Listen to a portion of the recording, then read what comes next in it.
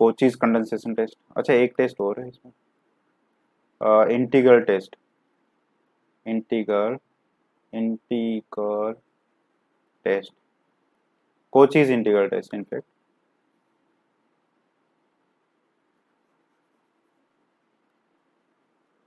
Cauchy's integral test ये भी बड़ा इंटरेस्टिंग टेस्ट है, ठीक? कोची सेवन और एट दोनों ही बड़े आसान और इंटरेस्टिंग टेस्ट है। Let us see seventh test Cauchy's condensation test ठीक है। इसमें क्या है? If summation u n, where n 1 to infinity is a positive term series जितनी भी टेस्ट हमने डिस्कस किए सब के सब पॉजिटिव टर्म सीरीज़ के लिए, ठीक है? अभी जो भी किए अभी तक। ठीक है? And U N is monotonic monotonically decreasing sequence ठीक है? देन समेशन यू एन ठीक है ऐसा बोल दो इसको। ये जो एन है ना इसको ऐसा भी लिख सकते हैं। ठीक? बाई एंथ टर्म या यू एन ऐसा लिख दो। Basically U is a function of N इसका मतलब तो ये हुआ ना। ठीक है? तो एंथ टर्म को ऐसे लिख दिया। ठीक है?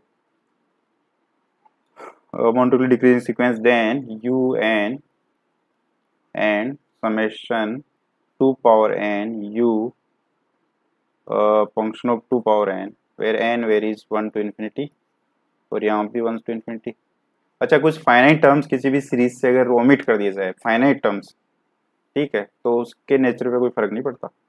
ऐड करो या माइनस कर दो या डिवाइड भी कर दो क्या फ़र्क पड़ेगा? नहीं पड़ेगा। फाइनाइट टर्म्स होने चाहिए। फाइनाइट टर्म्स ठीक। तो ये है। तो अच्छा। Monotonically decreasing sequence then uh, series and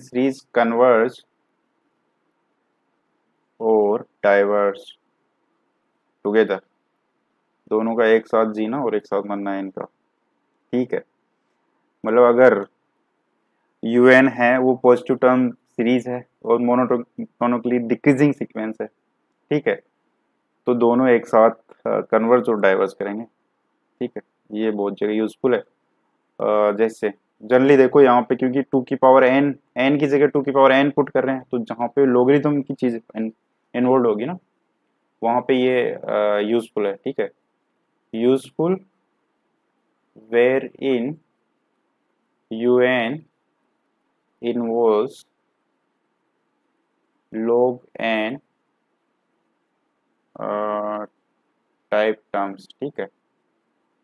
logarithm के टर्म्स अगर इन्वॉल्व है then will go with this ठीक है? तो देखो, जैसे मान लो ये है one upon N log N ठीक है? ये है मान लो एन वन टू वन तो हो नहीं सकता टू टू इन्फिनिटी वन पे इन्फिनिटी हो जाएगा, ठीक है? तो ये है मान लो this is a positive term sequence of course तो इसमें देखना है, और देखो वन अपॉन एन जो है, वो भी मोनोटोनली डिक्रीजिंग सीक्वेंस है।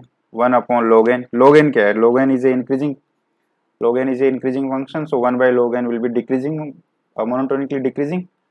दो monotonically decreasing positive series sequence है अगर उनका मल्टीप्लिकेशन से सीरीज़ सीक्वेंस बनती है तो वो भी मोनोटोनिकली डिक्रीज हो डिक्रीजिंग होगी ठीक है? So one divide by N log N is a monotonically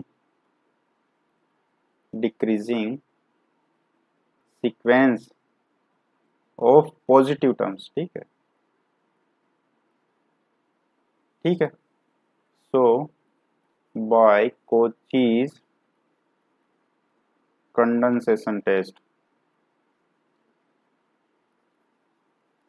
ठीक है। समेशन, जहाँ जहाँ एन है, वहाँ टू पावर एन और ये क्या है, इसको समेशन यू एन बोल देते हैं। U two power N test. By causing summation un will converge और डाइवर्ज एज पर सीरीज़ ठीक है? अब ये सीरीज़ की बात करें अगर एन टू से इन्फिनिटी तो summation two N one upon N की जगह टू एन पुट करना है। यू एन यहाँ जहाँ से एन है, वहाँ टू एन पुट करना है। एन की जगह टू एन लोग एन की जगह टू पावर एन ठीक है? तो ये क्या हो गया देखो, टू एन से टू एन कैंसिल हो गया this is two to infinity और ये हो गया one upon log two power N है तो एन आ गया बार N varies from two to to infinity और वन बाय लोग टू तो है कॉन्स्टेंट ये मैंने बताया अभी कि अगर कोई फाइनाइट टर्म्स ऐड कर दो मल्टीप्लाई कर दो माइनस कर दो सीरीज़ पॉजिटिव टर्म्स सीरीज़ से कोई फ़र्क उसको पड़ेगा नहीं। One by N N from two to infinity. ये क्या है? तो हार्मोनिक सीरीज़ है। या by P test we can say क्योंकि पी यहाँ पे वन है। तो पी जो होता है अगर less than equals to one है तो सीरीज़ तो डाइवर्ज करती है। So this is a divergent divergent series ठीक है। सो so, जो ठीक है hence hence by Cauchy's condensation test series un where n varies from 2 to infinity is divergent. ठीक है आई होप ये समझ में आता है। ओके जैसे मान लो अगर ये किसमें ये क्वेश्चन ट्राई किया जाए summation one upon N log N power P where N varies from two to infinity इसकी बात की जाए तो वही चीज़ करेंगे, इसमें यही मोनोटोनिकली डिक्रीजिंग सीक्वेंस है P is greater than zero ये गिवन है मान लो। ठीक है तो ये मोनोटोनिकली डिक्रीजिंग सीक्वेंस हो जाएगी।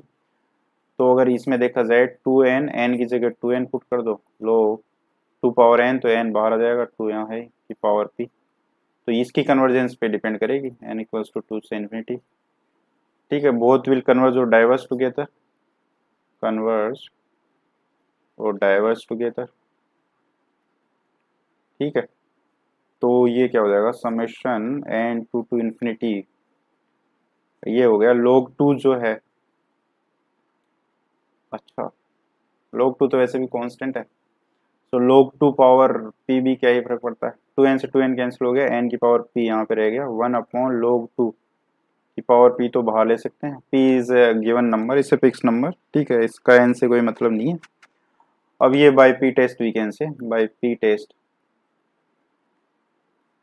converges if p is greater than 1 diverges if p is less than equals to 1 ठीक है? तो ये जो है this is the condition for the convergent और divergence of the original series जो भी गिवन थे। ठीक है? This is good test in fact आसान भी है ये। ठीक है? अब जो है फाइनल टेस्ट वो डिस्कस करते हैं। इंटीग्रल टेस्ट या कोचीज़ इंटीग्रल टेस्ट, ठीक है। ये क्या बोलता है, देखो, अगर मान लो ये यू एन जो सीरीज़ है, इसको फ़ंक्शन की तरह ट्रीट किया जाए, ठीक है। ठीक है u n is positive term summation कर दो सीरीज़ एंड यू एन इज़ monotonically डिक्रीजिंग इंटीग्रेबल फ़ंक्शन ठीक है? Integrable function then summation u n n varies from one to infinity and one to infinity u x d x converse और diverse together ठीक है इसमें भी ये देखो यहाँ पे ऐसा लिख सकते हो वैसे नॉन नेगेटिव टर्म भी बोल सकते हो ज़ीरो हो सकता है नॉन नेगेटिव टर्म्स ठीक है तो यहाँ पे वही कंडीशन है कि मोनोटोनिकली डिक्रीजिंग होनी चाहिए। अच्छा ये तो सबको आइडिया ही होगा कि जो जैसे ये मान लो a to infinity f x d x है ये इम्प्रोपर इंटीग्रल है ठीक है। तो आ, अगर मान लो ये जो है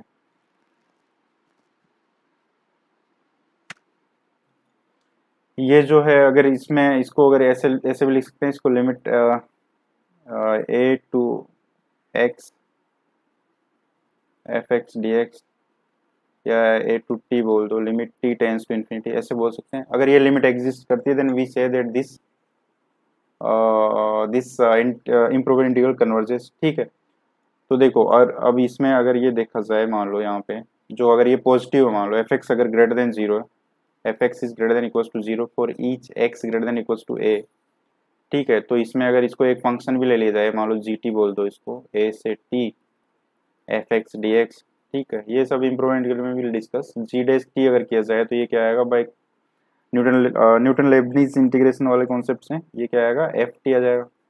पर x greater than equals to के लिए तो ऑलवेज पॉजिटिव है ग्रेटर देन ज़ीरो इसका मतलब क्या है कि ये इंक्रीजिंग फ़ंक्शन है. जी टी जो है इससे मोनोटोनिकली इंक्रीजिंग फ़ंक्शन ठीक है? इसका मतलब ये हुआ ये जो चीज़ है कोई भी सीरीज़ मोनोटोनिकली इंक्रीजिंग है तो वो कन्वर्स कभी करती है जब वो अप, उसका जो अपर है अपर बाउंड हो। इट इज़ बाउंडेड अबो तो ये बाउंडेड अबो का क्या मतलब है कि ये जो लिमिट आएगी this should be less than some quantity m तभी ये इंटीग्रेशन कन्वर्स करेगा। ठीक है? तो ये जनरल इंटीग्रल टेस्ट हो गया ऐसे भी अगर कोई इस टाइप का आ जाता है तो उसको ठीक है? अब जो कोचिज इंटीग्रल टेस्ट है, वो क्या है कि ये यू एन है, इसमें ज़रूरी है कि ये जो नॉन नेगेटिव टर्म की सीरीज़ है, इसमें ये यू एन फ़ंक्शन ले रहे हैं ये इंटीग्रेबल तो होना ही चाहिए, साथ ही साथ ये मोनोटोनिकली डिक्रीजिंग फ़ंक्शन भी होना चाहिए। देन वी कैन इक्वेट इसकी जो कन्वर्जेंस है और इसकी कन्वर्जेंस और डाइवर्जेंस दोनों एक साथ होगी। ठीक है? तो जैसे इसमें सिंपल सा जो पी टेस्ट हमने देखा था, उसका इसमें एग्जांपल देख सकते हैं। अगर वन डिवाइड बाई एन की power p where n varies from one to infinity इसके कन्वर्जेंस की बात की जाए तो देखो, इसमें अगर इसको एज ए फ़ंक्शन ले लिया जाए, और मान लो पी ग्रेटर ज़ीरो ले लेते हैं, अगर इसको फ़ंक्शन ले लिया जाए वन बाई एन को एज ए फ़ंक्शन ट्रीट किया जाए तो वन बाई एन जो है वन से इन्फिनिटी में ऑफकोर्स इंटीग्रेबल है। इंटीग्रेबल है, ये तो सिर्फ़ ज़ीरो पे ही इसका इश्यू है, पर ज़ीरो तो हमारे इसमें है नहीं। तो इंटीग्रेबल है और मोनोटोनिकली डिक्रीजिंग भी है, one by n by p, because p is positive. तो इसमें by by Cauchy's integral test by Cauchy's integral test, क्या बोल सकते हैं कि ये है वन, एन की जगह एक्स कर दो टी एक्स, और वन से इन्फिनिटी। ये जहाँ कन्वर्स करेगा, ये भी कन्वर्स करेगा, इसको क्या कर सकते हैं? एक की एक्स की power minus p plus one divide by minus p plus one ठीक है, और वन पे तो ये फाइनाइट वैल्यू होगी इसकी, जब एक्स वन होगा तो इसकी limit x tends to infinity ये कब एग्जिस्ट करेगी? तब ये इंटीग्रेशन जो है कन्वर्स करेगा, ये एग्जिस्ट करे, कब करेगी? जब ये जो है, ये टर्म ज़ीरो हो जाए, इसका मतलब माइनस पी प्लस वन जो है, ये लेस देन ज़ीरो हो जाए। जब ये लेस देन ज़ीरो हो जाएगा तो वन बाई एक्स ऐसे हो जाएगा ना ये? ये टर्म बट जब एक्स इन्फिनिटी होगा तो ये ज़ीरो जाएगा।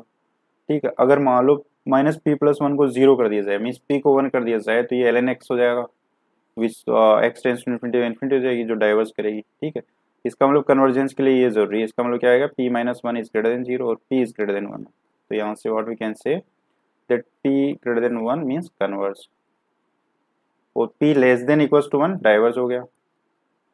भाई वन पे तो डाइवर्स हमने देखा ही है।